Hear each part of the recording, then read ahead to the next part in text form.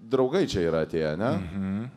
E, tu kaip ir žinai, kad jie paklaus tavęs kažko tai.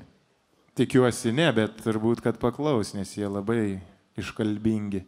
Tu turi draugų čia, kurie nuo, nuo kiek metų jūs pažįstami? Nu, kai kurie nuo penktos klasės, ten teko sėdėti suolę su, su vienu, Aha. po to kiti ten biški vėliau pasijungė, bet daug maž...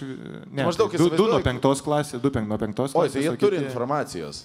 Nu, šiokios tokios. Jie turi informaciją. Jie, jie yra tau padarę blogų dalykų gyvenime. Aš jaučiu daugiau žinau.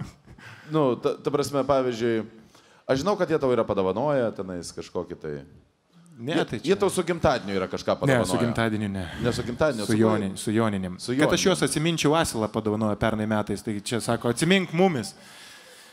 Ir tai yra asilas, ta prasme, pave, ne, ne, paveikslas. Tai yra... Ne, ne, ne, normalus gyvas asilas, kuris dabar ganosi pievai pas mane. Ir... Tu turi.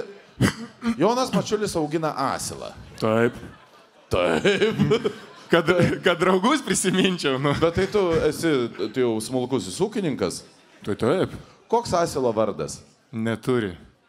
Kaip tai neturi asilas? Dabar va, asilas? jo, per joninės gal krikštyną surenksim, sugalvosim vardą, bus proga. O tai kaip tu, o kaip tu jį kvieti, kad jisai ateitų? Asilė.